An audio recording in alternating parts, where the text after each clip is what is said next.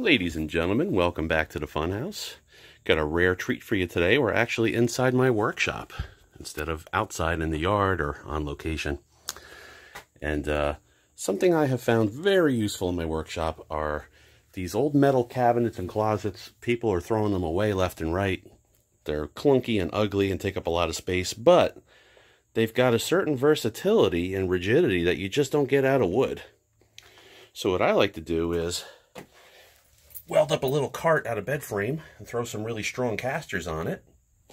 Uh, there's probably 50 to 100 pounds in these milk crates. This one, I actually had some rusty old shelves that fit it, so I added to the shelves. This has become my chemical closet. Um, but this cabinet, this is probably my my reigning achievement. Um, it was rotted out big time. So I made it this cart with some really strong casters and I welded a piece of angle iron up here to where it wasn't rotted out. It was sitting in a neighbor's backyard rusting away on the dirt.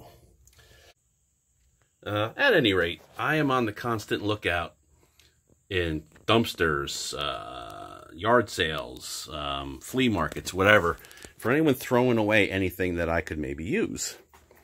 Um, I used to work for the phone company. You have never, ever seen anyone throw away money like the phone company. Millions of dollars in the dumpster. So anyway, um, when a truck would be going to auction or when a truck got totaled, uh, they would gut out the drawer system that was in the truck. Sometimes they'd put it in another truck, but a lot of times it would just sit around for a few years and then they would throw it in the dumpster. Uh, there was a place down in New Jersey, where uh, they were selling the building and phew, they were throwing away brand new materials. I mean, it was ridiculous. I rounded up these drawers that were from these uh, work vans, and um, my future father-in-law gave me these metal beams. Can't remember what they were for, but they fit in here perfect. They had these tabs on them. So I just measured and I welded them and I put these racks of drawers up here. I left a little space so I could put more drawers on top of the drawers. Then there's another rack of drawers. And then there's all these other drawers, and I've got all my hardware in here. And I mean, I've basically got uh, my own hardware store. Um, almost whatever I need. I got it separated by size, by uh, fine and coarse thread by metric or not. Um, I got to make some new tags for these because I put stuff in there and then it didn't make sense. And look at all these 3 8 bends. I think what I'm going to wind up doing is emptying out one of these bigger bends. You know, if there's something different about them, fine. Long, short, coarse thread, fine thread, uh, Allen head. But if they're all roughly the same type of bolt, maybe I could just put them in something that's divided up a bit. Long story short, you know, nobody would have gave this a second glance out for garbage, and I gave it a second glance, and now look, I got a hardware store. So why am I telling you all this? Well, I got a little bit of room here, and as anybody who's a workshop hoarder like I am knows if you have a little bit of room, you got to stuff some crap in there. If you make room, that means you've got room for more crap. So, how am I going to get more crap here efficiently? Uh, I've tried shelves. They don't really work out for me too well. So, um, somebody gave me this cabinet. I know it doesn't look like much, but uh, it is very sturdy, very strong stuff. Got these holes already drilled in it. Um, it's got these feet. I'm going to grind off these nuts and get rid of these feet and put casters on it. I've already got a really strong set of casters that I sourced from uh, some scrap. And uh, there's sides that pop on it. It's already got two racks that I can put in here at different heights and put shelves on, and then I'm going to have to make some more. But first things first, let's get rid of these feet. I left this sitting in the woods for a while. They're so rusty, they're not even adjustable anymore. They got to go so I can put the casters on. Let me show you guys something. This is a blade diamond blade made by Diablo. Not a sponsor, but fingers crossed. Anyway, you know when you're using your cutoff wheel and it just keeps getting smaller and smaller and smaller and eventually you have to replace it just because it doesn't have enough circumference to do what you need it to do? This doesn't get any smaller. The diamonds wear off. You got to throw it away and put a new one on. But if you're patient, they last a really long time. And they never get any smaller. They don't fly apart in your face and cut your jugular. Uh, highly recommend them.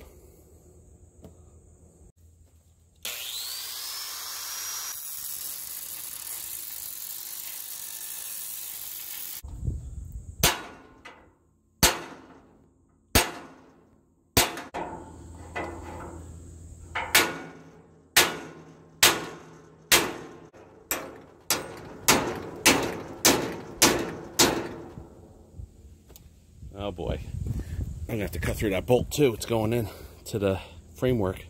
Uh, I got tired of playing games, so uh, Big Brutus made short work of those legs. And I knocked off the paint, because you know, hydrocarbons. It's gonna be bad enough that these uh, casters are galvanized. I don't need paint to boot. But I cleaned up everything. I got one clamped into place, and now I'm gonna start welding.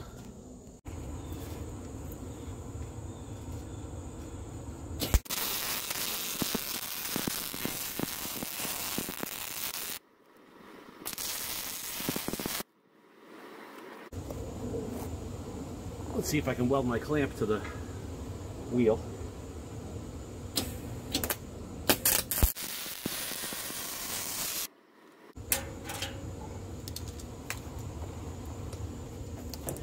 Nope, I guess I live to clamp another day.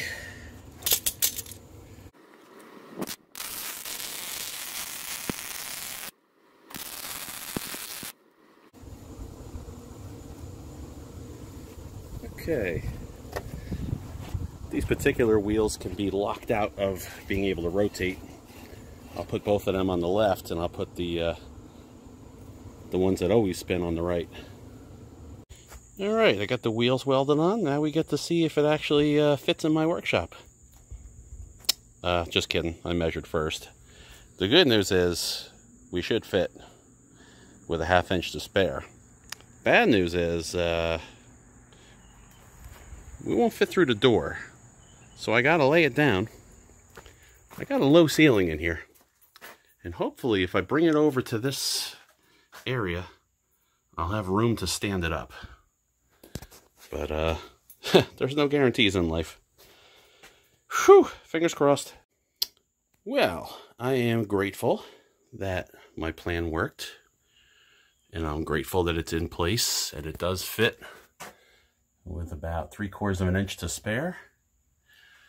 I am far more grateful that none of you witnessed the stupidity and tomfoolery that it took to get that stood up and in place. But it's in place. Now to start outfitting it with uh, shelves and accoutrement. All right, so I got the wheels on. It rolls it fits. but now I don't know what to do with it. Um, I was going to trim down this rack of drawers to fit in there.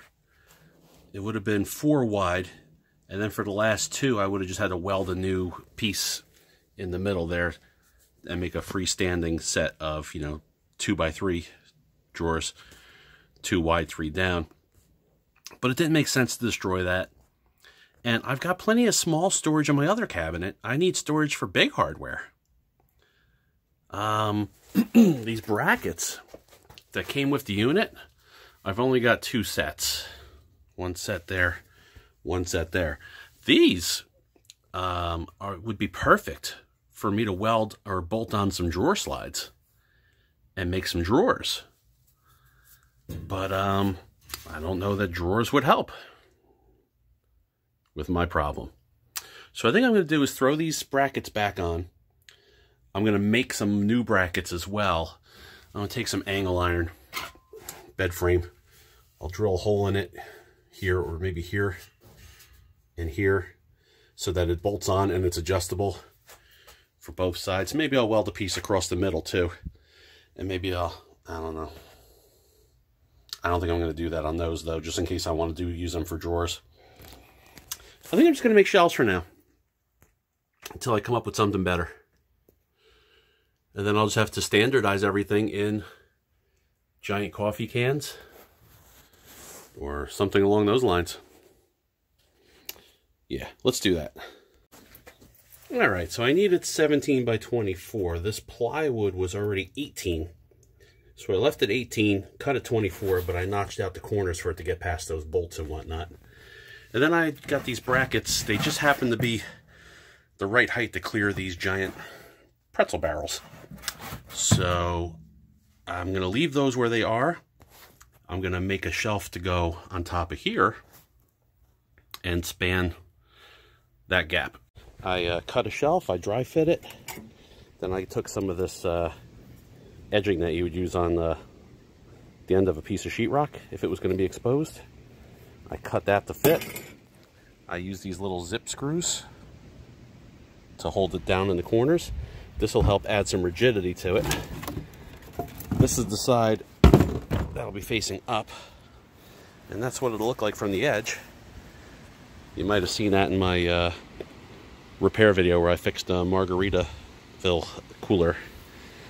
And uh, let's go put this in and see how it looks. Okay, that's in. Fits good. Looks halfway decent. Um, I might put some down here just for appearance's sakes, but underneath here uh, is really sturdy. So I don't need any extra support on this uh, on this shelf. But for here, I was going to weld something across from that bracket to this, but if I ever change it to drawers, that stuff would be in the way. And yeah, I could cut it or grind it off, but I think this steel is going to add a little strength to the shelf. Uh, I'm not planning on putting anything super heavy on it. And I think that'll be good enough. And now I'll put this next set of brackets, however high I decide I need them, and do this again. And then I guess if I keep going, I'll have to make some brackets.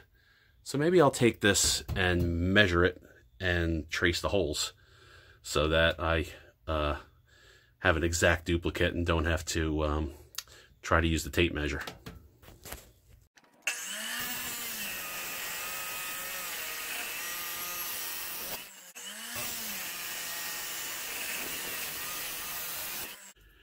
I went out and got some more of this metal trim. So this is just about loaded to the gills.